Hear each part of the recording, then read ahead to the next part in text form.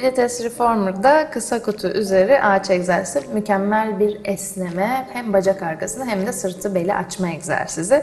Önce derin bir nefes alıp dik oturmak kritik. Dik sırtımıza ulaştıktan sonra nefes verirken bacağı uzat, nefes alırken büyük. Tekrar nefes ver uzat, nefes al büyük. Bir kez daha uzat ve kal. Şimdi ağaç kısmı buradan geliyor. Ağaca tırmanır gibi bacağı tırman. Tırmanabildiğin en son yere ulaştıktan sonra ayak parmaklarını kendine doğru çek nefes verirken, nefes alırken uzat. Nefes verirken kendine doğru çek, nefes al, uzat. Son kez çekerek kal.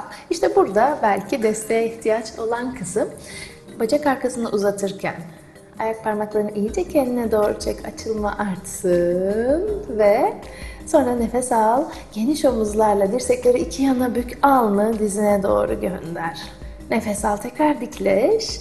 Nefes verirken geniş omuzlarla alnı dizine gönder. Son kez derin nefes al dikleş. Nefes verirken alnı dizine gönder ve omuzları rahat bırakırken hem bacak arkasında hem kalçada hem de sırtta harika bir açılma.